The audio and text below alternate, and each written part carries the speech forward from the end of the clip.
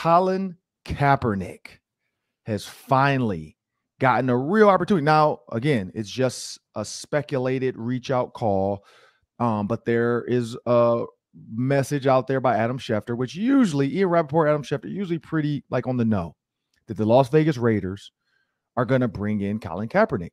You look at Davante Adams. You look at that team, how it's built. Uh, you look at Vegas.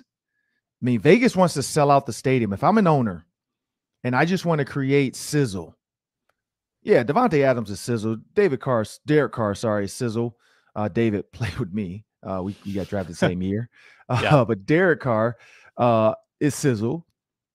Um, Darren Waller winning that will get fans. But but Colin Kaepernick will get fans there for training camp. If you have Colin Kaepernick around early, one, it's Vegas. So who wouldn't want to go to the desert and go to the casino and party and sit at the beach and, and or, or, sorry, not the beach, the pool, um, and, and, have a cocktail or two at the bar. But then also, I get to go see if Colin Kaepernick is good or is this all hype? You know, did he really sit, sit out for six years because he was blackballed by the NFL? Or was he really just not good anymore? So that's why I think the, the Las Vegas Raiders are on or something, Sam. Um, I, I, I do see you know people now understanding social justice is important. Um, when you see the first cop kind of convicted in the george floyd murder i think more and more people are starting to realize you know what? These guys are like bad people. Like not all of them you know i, I look at it like this people always say this and before i turn over to you it's it's terrible to look at a group of people and and blame them and ostracize them for their worst people.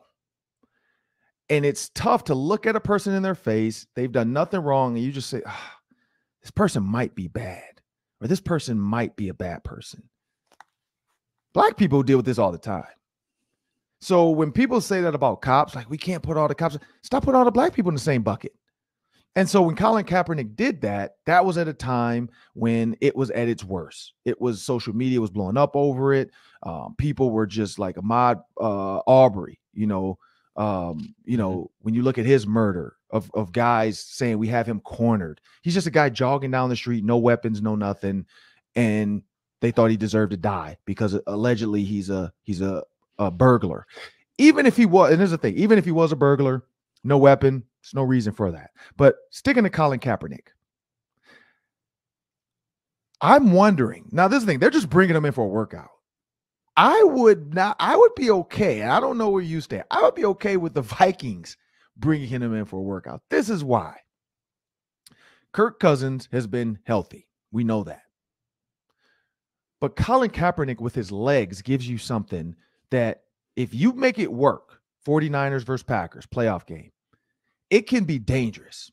Kyler Murray, Dak Prescott, Josh Allen, Lamar Jackson, quarterbacks that can throw and run have seemed to make it work in the NFL. Not saying you take Kirk Cousins out for Colin Kaepernick, but I'm like, why not have an additional package in there when you know you need something like a speed option with the quarterback? Um, when you can add different levels to your offense. Uh, if you do need a really good backup, is is is Sean Mannion? We've seen what he did with the Packers game. Is he a guy that can get you through the rest of the season? Or I don't know if that was the Bears game Sean Mannion playing, but is he a guy that can get you going for the rest of the season? Is Kellen Mond the answer? I look at Kellen Mond honestly, and you look at his college stats. Um, you know, 800 completions, 1,300 attempts, 59% on his college career, almost 10,000 yards passing, uh, 71 touchdowns, 27 interceptions. Not bad. But do you think he can become a guy that can lead a team? He's your third round draft pick. Or can Colin Kaepernick maybe be the backup that can be your Nick Foles for the Eagles and find out and keep the season going? You know, that or your Case Keenum for the Vikings and keep the season going? Like that's the question um, that I pose to you, Sam, because I wouldn't be opposed to Colin Kaepernick battling with Mannion and Kellen Mond because everybody seems to not be sold on Mond. Now we know Zimmer was a little bit hard on him, so maybe he needs to be nurtured as well. But I, I wouldn't be opposed to Colin Kaepernick being the backup or fighting for the backup job for the Vikings at camp. So, as always, I like to try to acknowledge both sides of this. So, on one hand, Colin Kaepernick absolutely should have had a shot somewhere before this. Six years is a long time.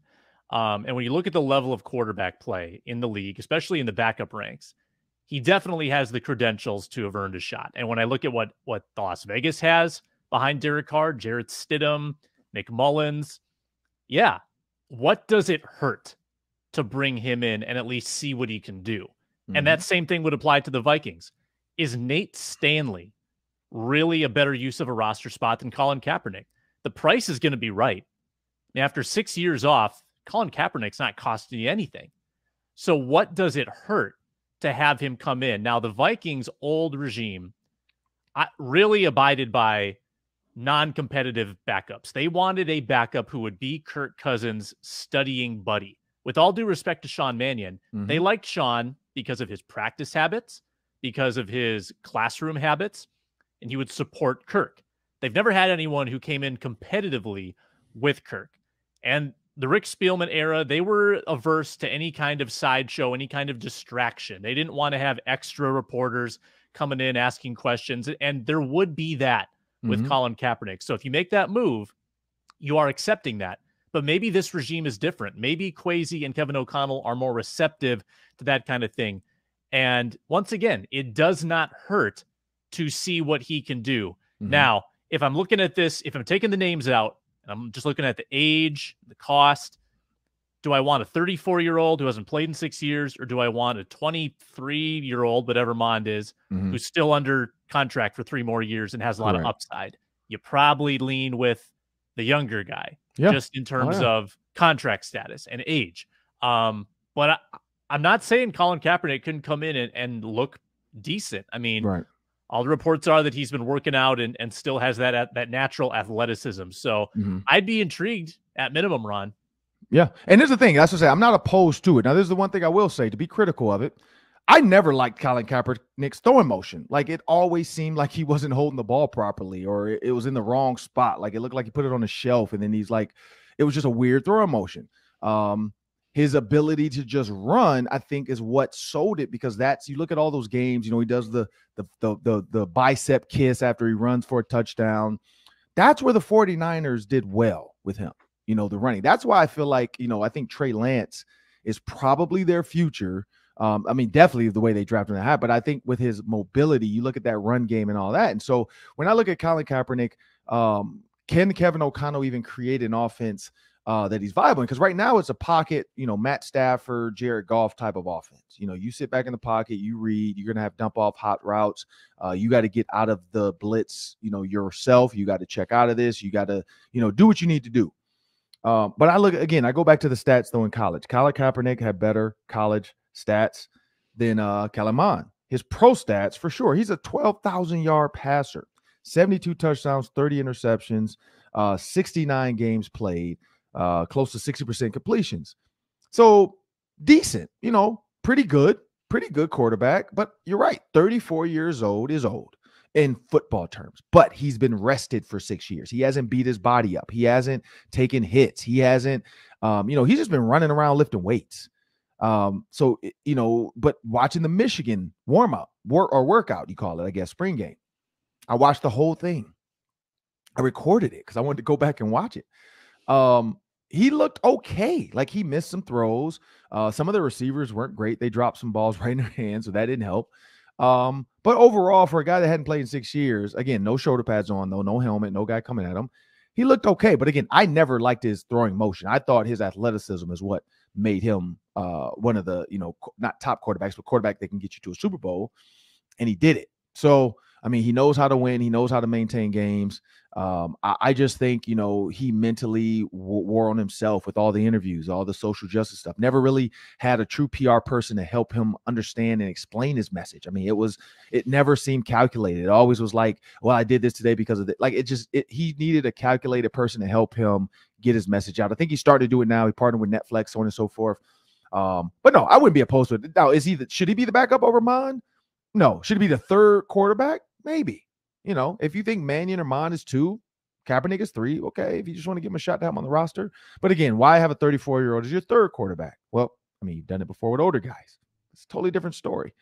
Uh, you look at Jake or what that Jake, whatever his name, Peterman, Nate Peterman, or I think that's his name. You know, he's still yeah. getting jobs. So yeah, I, I, I hope Colin Kaepernick gets a chance, but but that that Kellen Mond, I, I definitely want to see where he's at because then it, like let's say Kaepernick kills it in the preseason this year for somebody, and then you're looking at mine and he's still making the same mistakes that Zimmer thought he was making, then I could see it. I could I could understand where they would go from there. But up next on the Ron Johnson Show, we're going to have Vikings former defensive back Robert Griffith. Cannot wait to talk to him. Stay tuned for that. If you enjoy the Ron Johnson Show, you'll enjoy our other daily show on Locked On Sports Minnesota. It's Superior Sports Talk with Carol Evans, sports director Reggie Wilson, and his co host Luke Inman. Whether it's Twins, Vikings, Wolves, or Wild, Reggie and Luke have it covered all the breaking news, all the big opinions. Catch their show five days a week by subscribing to Locked On Sports Minnesota's YouTube channel or wherever you get your podcasts.